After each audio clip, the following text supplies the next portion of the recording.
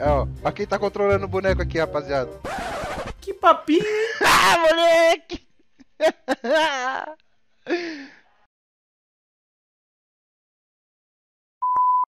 Já pensou em parcelar o Gold para caixar a sua conta? Aqui você pode. Vem pro reidoscoins.com.br.